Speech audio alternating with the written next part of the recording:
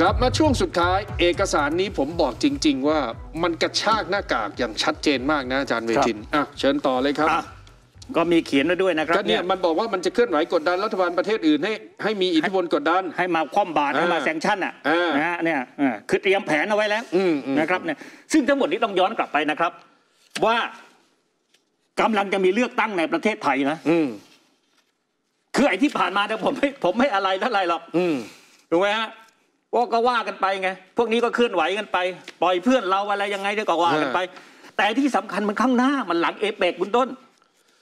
ทั้งหมดนี้เนี่ยมันคือการเตรียมเนี่ยปีหน้าเนี่ย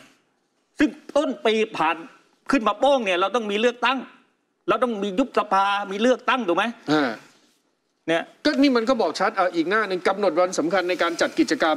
อ่าผ่านไปหมดแล้วนะฮะครับ จัดชุมนุมหน้าศาลทูตทั่วโลกอือฮึคิดว่าปีหน้ามันก็คงเอาอีกนะครับ ครบรอบการดำเนินคดีต่อแกนนำในเดือนกุมภาเอ่อเดือนกรกฎาตุลา65นี่จบไปแล้วครับ วันนักเรียนสากลก็คือวันพฤหัสที่ผ่านมาครับ17 17 พฤษภานะฮะไอ้ยพฤศจิอืมและนี่ครับคุณผู้ชม ชัดชัดเต็มเต็มเลยอืม วันสำคัญในการจัดกิจกรรม คือการจัดเลือกตั้งอืม2023 คือมันเต็มเหนียว มันเตรียมเต็มเหนียวเลยครับอ่าเออถามว่าเลือกตั้งทำไมทำไมมันสำคัญคุณต้นอืมถามว่ามันถามว่าทำไมมันสำคัญอ้าวถ้าเกิดว่าเครือข่ายของพวกเขาได้เขารับเลือกตั้งมาเป็นรัฐบาล มันก็บรรลุผลของมันนะอะผมตัดตอนไปนี่เลยคุณต้นเออเออเออผมตัดตอนไปตรงนี้เลยอ่าอ่านะคว่ารับมาเนี่เลยยครับตัดภาพสลับกลับไปนะครับ เนี่ย ที่ไต้หวัน เวทีที่เรียกว่าออสโลฟรีดอมฟอรัมนะฮะอ๋ออันนี้ตะกี้ผมย้ำนะคุณต้นพูดว่าเนี่ยตะกี้บอกว่าถ้าถ้ารัฐบาลเปลี่ยนข้าง รัฐบาลเปลี่ยนข้าง เป็นพวกมันเป็นพวก พวกเนี้ยพวกเนี้ยเนี่ยอ่าเอาฝ่ายค้านนี่แหละเอาอ่ามีคนไปพูดมาธนาธรนั่นไงจึงผมว่ารุ่งเรืองแล้วกิจเออ คือเรื่องจีนก็เรื่องหนึ่งนะฮะอ่า นะเดี๋ยวถ้ามีเวลาเรามาขยายเรื่องจีนจีฮ่อนงกงก็เรื่องหนึ่งนะ อ่าเรื่องที่ไปพูดเรื่องเอกราชไต้หวันน่ะเออนะฮะสถานทูตจีนน่าจะดูอยู่นะฮะแต่ผมว่าผมอ่านตรงนี้แล้วผมผมผมตกเก้าอี้คุณต้น อ่าเพราะเขาไม่ได้พูดแค่เรื่องจีน อันนี้สื่อไต้หวันรายงานนะครับธนาธรจะไปฟ้องก็ไปฟ้องสื่อไต้หวันอืมนะฮะเขาบอกว่าธนาธรกล่าวปิดท้ายว่าหากพันธมิตรของเขา สามารถจัดตั้งรัฐบาลหลังการเลือกตั้งในเดือนพฤษภาคม ไทยจะสามารถช่วยเหลือเคลื่อนย้ายพม่าจากระบบการปกครองโดยทหารสู่ประชาธิปไตยอ๋ออันนี้อันนี้อย่างหลักการอันนี้อย่างหลักการ คุณต้นเดี๋ยวมีตกกระจายกว่านี้ และรับปากรับปากนะเออรับปากนะครับคุณต้น ว่าจะอ้าแขนรับผู้ลี้ภัย และอนุญาตให้ความช่วยเหลือระหว่างประเทศส่งมอบไปยังชายแดน ถามคนไทยนิ่งไปเลยไหมดูนิ่งไปเลยไหมถามนิ่งไปเลยไหมถามคนอื่นดูบ้างหรือยังอ้าแก่รับผู้ลี้ภัยประเทศเองมันเจริญแล้วหรืออย่างไร มันมันสบายหรืออย่างไรเออฮะเออมันประเทศเรามันสบายแล้วเหรออาจารย์นะฮะคือผมนึกถึงอะไรรู้ไหมคุณต้น คุณต้นเคยรู้จักองค์ไอ้กลุ่มที่เรียกว่าอะไรนะ Free Burma Rangers ไหมอ่าอ่าอ่าอ่าอ่าคือบอกว่าเป็น NGO เออเออนะฮะให้ความช่วยเหลือ มาฝึกอาวุธด้วย แต่จริงๆอะแอบก็ไปฝึกอาวุธด้วยใช่คนกลุ่มน้อยต่อต้านรัฐบาลฐานพม่าใช่ใช่เอออ้าวคือผมไม่ได้เห็นภาพอะไรอย่างอื่นเลยละครับนะฮะแต่ถ้าเกิดว่ามาในแนวนี้เนี่ยศึกก้าวทัพอีกอะคือมันคือพม่าเขาจะยอมเหรอมันก็แปลกนะอาจารย์ทำไมอะทำไมคือ คือประเทศไทยมัน มันไม่ดีหรืออย่างไรทำไมมันถึงต้องเกลียดต้องชังต้องชักศึกเข้าบ้านทำไมมันจะต้องทำร้ายทำคือมัลานมันยไม่ใช่มันไม่ดีหรอกคุณต้นในทางยุทธศาสตร์เนี่ยนะฮะแผนแบบนี้มันวางเนี่ยนะฮะคือต้องการให้ไม่มีเสถียรภาพทางการเมืองก็ใช่ไงในประเทศ อืมแต่ถ้าเกิดว่าคนในประเทศเนี่ย รู้นะฮะแล้วเข้าใจและเท่าทันเนี่ยนะแล้วมีความเป็นเอกภาพมีความเป็นปึกแผ่นเนี่ยไอ้แผนแบบนี้ก็ไม่สำเร็จคุณต้น อืม แต่ประเด็นคือว่า ถ้ามีคนที่ไปเอออห่อหมก คนในประเทศไปเอออห่อหมกด้วย ใช่ไหมฮะแล้วอีกฝั่งหนึ่งเนี่ย ไม่ทำอะไร แล้วถ้าพวกนี้มีอำนาจ มันเข้าแผนถูกตามนี้เลย แต่ถ้าอีกคนอีกฝั่งหนึ่งลุกขึ้นมาทำอะไร คนในประเทศก็แตกแยก เออ คือเห็นไหมฮะคือมันวางแผนมาแบบแบบประเภทกูกูอยู่เฉยๆกูก็เจ๊ง หมายถึงว่าหมายถึงว่าพวกเรานะเออเออเออนะฮะอ่ากูเข้าไปทำอะไร มันก็ได้มันก็ยังได้เข้าล็อกมันอีกได้เปรียบเข้าล็อกมันอีก เพราะว่าประเทศก็เกิดความระสำระสายแตกแยก แต่ยังไงเงินก็ต้องจัดการไหมอาจารย์อ้าวเอาโทษทีนะ อินเดีย จีนอ่ากัมพูชาก็ไล่ไอ้พวกนี้ออกไปก็จากถึปงระเทบศอกนะไงว่าว่าปล่อยไว้ได้ยังไง มันปล่อยไว้ไม่ได้เขาคือเขาไม่ได้เห็นคือคือโทษนะฮะเขารู้เช่นเห็นชาติว่าไอ้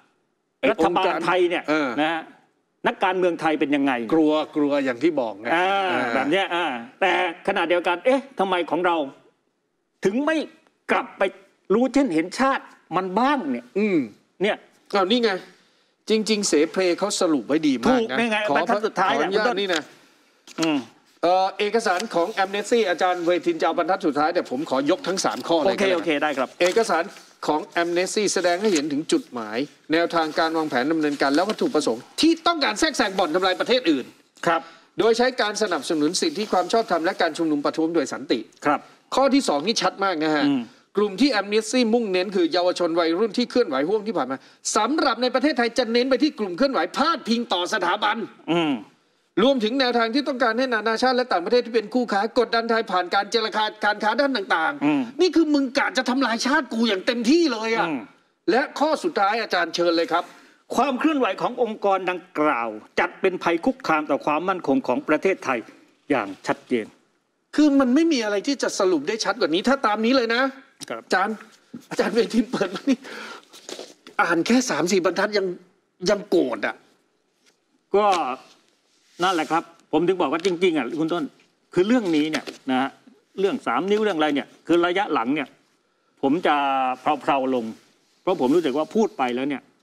มันก็ไม่มีนจะ action ทำมันจะให้เราเหมือนคนคนปากเปียกปากแฉะอืมอืมอืมแต่พอเห็นไอ้อันเนี้ยมันรู้สึกว่ามันมันมันจะเฉยอยู่ก็ไม่ได้เออใช่ไหมฮะอ่าแต่ก็ต้องระวัง เนี่ยผมถึงบอกว่า เพราะมันวางแผนคือคือความขึ้นมาเป็นมหาอำนาจของอเมริกาเนี่ยอืม ต้องย้ำว่าเขาไม่เหมือนกับสมัยของดัชหรืออังกฤษ อ่า ซึ่งเข้าไปเพื่อกอบโกยทรัพยากรเข้าไปยึดแล้วก็ไปยึดแล้วเอาดูดดูดสูบสูบคืนแต่อเมริกาเนี่ยมันจะมาด้วยด้วยความแยบยลเนี่ยคล้ายๆ เหมือนเอาผลประโยชน์มาล่อบ้างนะมีมีมีกลเม็ดมีอืมเล่ห์เหลี่ยมเยอะอะอืมนะฮะอย่างที่ผมบอกเนี่ยคือคือแผนแบบนี้เนี่ยมันมันมันถูกวางโดยคนที่ เดินเกมการเมืองถูกไหมฮะเพื่อที่ทำให้ตัวเองนั้นเนี่ยไม่ว่าจะเกิดอะไรขึ้นเนี่ยสามารถมีแต้มต่ออมหรือถือไพ่เหนือกว่าประเทศคู่แข่งอยู่เสมอ คือตักตวงได้ทั้งซ้ายทั้งขวาถูกก็อย่างที่บอกอยู่เฉยๆมันก็ไปเรื่อยๆ ของมันบ่อนเราก็เสร็จทำลายมันไปดิเรื่อยๆเออก็อ่าบ่อนทำลายไปเรื่อยอ่าๆแต่ถ้าเราลุกขึ้นมาต่อต้านกลายเป็นว่าประเทศแตกแยก เออ โดยที่ตัวมันไม่เป็นมันก็มันไม่เป็นหาอะไรเลยนะอ่าขออภัยอ่าเออ ถูกถูกไหมฮะเออเนี่ยเนี่ยเออคือคือถึงจุดหนึ่งวิธีการทำก็อย่างอย่างว่าแหละต้องคือแบบเอาผมดูดูตัวอย่างแล้วกันอืมจำได้ไหมครับอะไหนไหนพูดถึงคุณธนาธรแล้ว คุณธนาธรก็ไปพูดที่ออสโลฟรีดอมฟอรัมไอ้ล่าสุดนี่เหมือนกันที่เป็นประเด็นนะฮะแล้วสื่อไต้หวันนี่ก็ก็รายงานนะครับ คุณธนาธรก็ไปพูดว่าเนี่ยพูดถึงเรื่องเอกราชของไต้หวันนะอืมซึ่งจริงๆผมว่าอันนี้เนี่ย คุณธนาธรกล้ามากนะเพราะขนาดคุณโจไบเดนเนี่ย ท่านปู่โจไบเดนเนี่ยไปนั่งจับมือคุยกันต่อหน้า ประธานาธิบดีสีจิ้นผิงที่ที่จียี่สิบเนี่ยยังไม่คุยยังไม่ขนาดนี้คุยตรงนี้เลยอืมยังคุยแค่ว่าเจ๊อย่าบุกนะขณะที่ท่านประธานสีจิ้นผิงก็บอกว่าอยู่ก็อย่าล้ำเส้นแดง เอออ่าถูกไหมเอออ่อ่าแต่คุณธนาธรบอกว่าเนี่ยเนี่ยอ่านะฮะถ้าคุณต้องการเป็นเอกราชนั่นคือความเห็นของคุณอืมนะฮะคือไปพูดเรื่องเอกราชของไต้หวัน คือโดยคุณธนาธรไม่เสียวเลยนะว่า จริงๆไทยซัมมิทเนี่ยยังมีโรงงานอยู่ในจีนกี่แห่งกี่ที่นะสามแห่งมั้งไม่รู้สามสี่แห่งให้ข้อมูลเก่าเหรอผมไม่รู้ว่าข้อมูลใหม่เป็นยังไง เออนะฮะแต่ตอนนั้นอันนี้คือตอนนี้ซึ่งหลังจากที่คุณธนาธรไปพูดที่ออสโลล่าสุดเนี่ยก็ไม่ได้มีนะมี action อะไรออกมานะจากจากจากจีนเองจากอะไรอืมจากจากฝ่ายจีนเองนะฮะโดยเฉพาะในไทยก็ไม่ได้มีอะไรนะฮะเพียงแต่ว่ามีอาจารย์ฮาดิรัตน์เท่านั้นเองที่ออกมาบอกว่าให้ไปถอดเทปหน่อย เพราะมันดูแล้วอาจจะกระทบเรื่องความมั่นคงก็ได้พวกไปพูดแบบนี้คือนะฮะเขาเขาอาจจะไม่อยากให้ความสำคัญไหม แต่ตอนนั้นเนี่ยผมไม่รู้นะครับคุณต้นแต่สาระคือไปพูดที่ไต้หวันนะอืมอืมอืมอืมไปพูดที่ไต้หวัน ไปพูดเรื่องเอกราชของไต้หวัน ซึ่งเป็นเรื่องที่แทงใจดำจีนนะนะ อ่าอ่า นะฮะ แบบนี้นะคุณต้น แต่คุณต้นจำได้ไหม ปี 2019อืม ที่ไปถ่ายรูปคู่กับโจชัวหว่องอะเออเออแล้วบอกว่าไม่มีอะไรไม่ได้รู้จักอะไรกันแค่ไปเจอกันในงานเฉยๆการเคลื่อนไหวที่ฮ่องกงเป็นแนวทางเป็นแนวคิดให้เกิดมาตั้งพรรคในการเมืองในประเทศไทย ตอนนั้นจำได้ไหมครับว่ารัฐบาลเอ๊ะโทษนะฮะสถานทูตจีนออกหนังสืออ่าใช่ใช่ใช่ขึ้นมาเลยครับนะครับออกมาโอ้โหแล้วแบบ ไม่ระบุชื่อนะ อืมที่เป็นนักเขาบอกว่าการเมืองคนไหนเอ่อเป็นนักการเมือง นักการเมืองไทย อ่าแต่พูดถึงนักการเมืองไทยที่ไปเคลื่อนไหวเออ แบบเนี้ยคือตอนนั้นเนี่ยม็อบฮ่องกงกำลังเป็นเรื่องเป็นเดือดเป็นประเด็นตอนเย นั้นอะไรหลากล่มหลากสีอะไรนั่นนะนะอ่าอ่าอ่าเห็นไหมฮะมยุทธการล่ม อ่าเห็นเห็นเห็นไหมครับทุกอืม เนี่ยคือคืออันนี้เนี่ย จีนเนี่ย ผมว่าเขาชัดเรื่องพวกนี้ ไม่ปล่อยให้เคลื่อนไหว มันจะผิดมนุษย์อะไรนะผิดสิทธิมนุษยชน ก็มันผิดอยู่แล้วเพราะเองเอาสิทธิมนุษยชนมาอ้างอืมถูกไหมฮะอืมแต่แต่แต่ท่าทีแบบนี้เนี่ย ผมไม่รู้ ว่าคือเนี่ยพูดไปก็เหมือนกับ ผมคิดถึงสำนวนเดียวอะชักศึกเข้าบ้านมาก ชักศึกเข้าบ้านมากแล้วที่น่าห่วงคือคุณต้น คือถ้าสถานการณ์การเมืองในไทยเราเนี่ยฮะที่คุณต้นก็ได้วิเคราะห์คุณสนธิยานคุณสันติสุขก็พูดไว้อยู่แล้วถูกไหมอืม คือด้านหนึ่งผมไม่ได้พูด แต่ถ้าเกิดว่าสถานการณ์การเมืองในบ้านเราเองเนี่ยมันมันมีเสถียรภาพมากกว่านี้หน่อยนะผมให้หน่อยนึงนะอืมเออมันก็ที่ดูไปเราก็เอาแค่แค่รับทราบว่าเขาจะเคลื่อนไหวยังไงเออแต่ไอความเป็นจริงในบ้านเรามันก็งอนแง่นหลืงอนกิแง่นน่ะงอนแง่นเหลือเกิงอนแง่นน่ะเออแล้วก็ไม่รู้ด้วยว่ามันจะไปเข้าทางเขาเมื่อไหร่ด้วยนะก็ถูกกันดิเออนะเนี่ยฮะแต่ทีนี้เนี่ยอะก็เขาบอกไงคุณธนาเขาบอกว่าพักที่เป็นพันธมิตร ของเขาเนี่ยผมผมก็ไม่รู้พักไหนก็พูดง่ายพักฝ่ายค้านเขาเขาเขาเชื่อของเขางั้นพักเหรอฝ่ายค้านปัจจุบัน แปลว่า เนี่ยที่คนที่จะมาเป็นนายกที่ว่าโพลเขาสำรวจว่าว่าคะแนนนำเนี่ย คุณแม่ลูกอ่อนเนี่ยเออยังไม่ออก คุณแม่ตั้งท้องเลยอืมเออเขาจะเอาด้วยเหรอก็ไม่กับรู้เหมืกัอบนกันเนี่ยเอาผู้ลี้ภัยเข้ามาเนี่ย คือผมเอาเอาเอ่อผู้ลี้ภัยคนหนึ่ง เอาผู้ลี้ภัยสองคนผู้ลี้ภัยสองคนไม่ใช่ดิผู้ลี้ภัยชายแดนพม่าดิไม่หรอกคือผมว่านะ บางเรื่องบางราว ผมเชื่อว่าสังคมไทยไม่เอาด้วย เช่นการรับเอาผู้ลี้ภัยพม่า ซึ่งมันไม่ใช่สังคมไทยหรอกคุณต้น ผมเนี่ยกองทัพเออเพราะว่าไงเพราะจริงๆเรื่องนี้มันเป็นเรื่องถูกไหมฮะเออแต่ก็อย่างว่าแหละครับถ้าฝ่ายที่ไม่เห็นด้วยอย่างพวกเราอ่าอย่างกองทัพหรืออย่างใครก็ตามเคลื่อนไหวปั๊บ มันก็จะเกิดความแตกแยกทันที ก็ก็นั่นไง คือหลายคนก็พูดถึงถ้าเป็นถ้ามาในรูปนี้นะ แล้วจริง ๆ เนี่ยผมว่า ผมไม่ค่อยห่วงทางเพื่อไทยหรอกมันอาจจะมีคนไปดึงดึงๆกันเอาไว้อ่าอ่านนะฮะแต่อาจจะที่น่ากลัวก็คืออาจจะด้วยความด้อยประสบการณ์อ่าพรรษาน้อยอ่าไม่รู้เรื่องรู้ราวเนี่ยอ่าอาจจะหลุดไปได้อ่าหนักกว่าน้าตัวเองแต่อีกแต่อะผไอ้มบอกอีกว่าภาคหนึ่งอะหลุด หลุดแน่นอนหลุดแน่นอนอีกครั้งมันไม่ใช่หลุดอะพร้อมไปไปในอยู่แล้วแนวนั้นอยู่แล้วเออเออซึ่งอันเนี้ยน่ากลัวฮะนะฮะเออคือเซเลนสกี้เลยล่ะ เอาละคุณผู้ชมทั้งหมดเนี่ยเป็นความห่วงใยของดรเวทินชาติกุลแต่ซึ่งแต่ไปดูนะฮะ เพราะว่าจริง ๆ แล้วเนี่ยอยากจะให้